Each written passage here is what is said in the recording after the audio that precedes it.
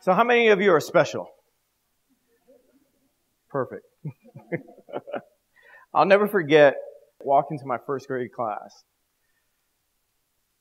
and it was amazing.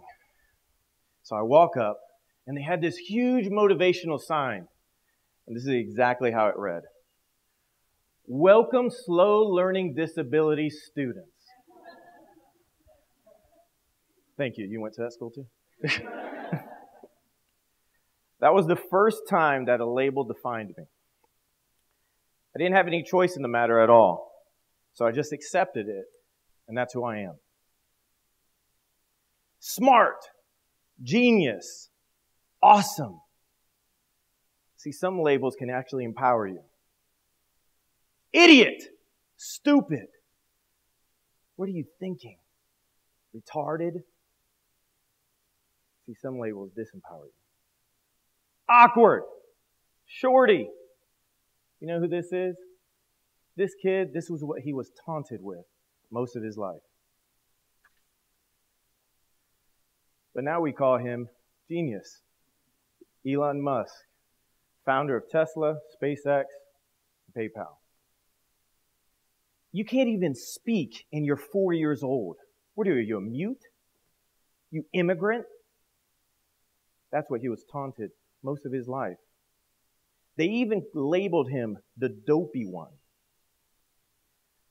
But now, you call him the father of physics, Mr. Albert Einstein. You are a nerd. And this is when it was actually not cool.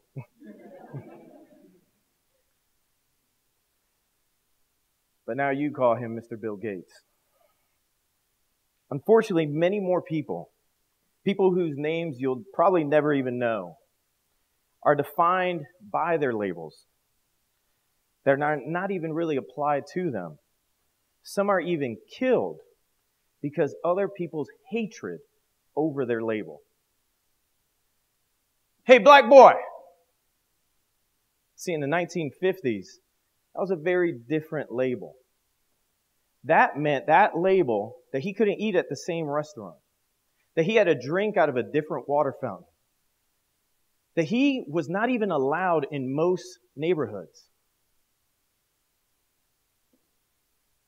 See, but this little boy turned into a man. And this man had a dream. And now we know him as Dr. Martin Luther King.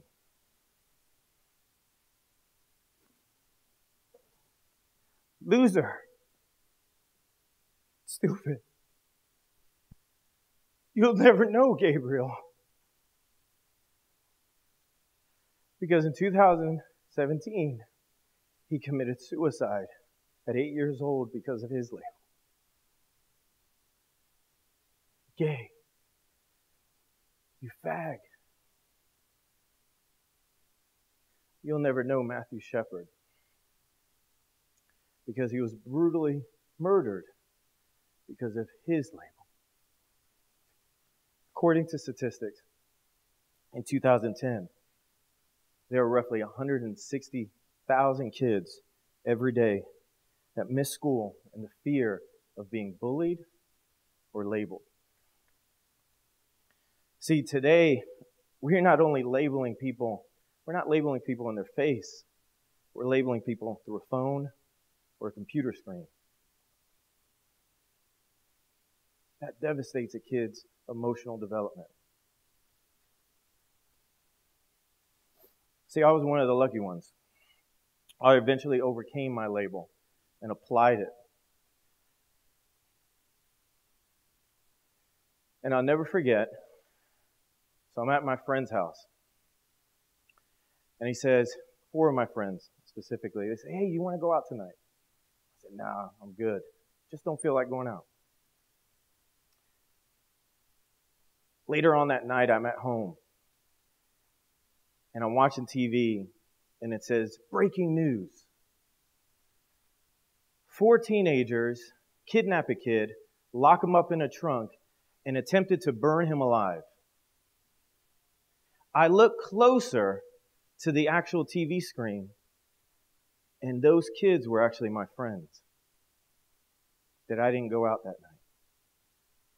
Immediately, I dropped any kind of label that I had on myself. I was not stupid anymore. I was not slow anymore. I was not somebody who was a failure. I immediately went to my guidance counselor that next day and I said, We need to come up with a plan. I need to join the military.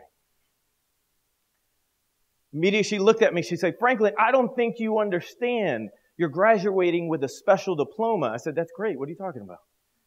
She's like, No, no, no. It's not that kind of special. It's this kind. I said, What do I need to do?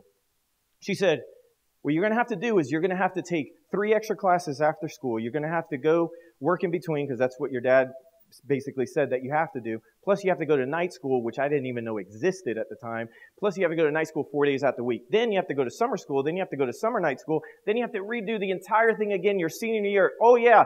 And if you fail one class, you don't graduate on time. And all these are normal classes. I'll never forget the night before graduation, I had one more class in night school. And if I passed it, I walked. And if I didn't pass, I did not walk. And I passed. I passed, and then from there, I went, one month later, I went to the United States Army and served seven years. See, I created a purpose for myself in going to the military that allowed me to actually transform my label. See, we not only need to be careful about the labels that we apply to people, we need to be sure that the people have the power to transform and challenge that label, that they feel empowered. But we have to give them the tools and information to challenge the status quo, to transform the meaning of their labels that hurt them. See, power is having the ability to see people for who they will become,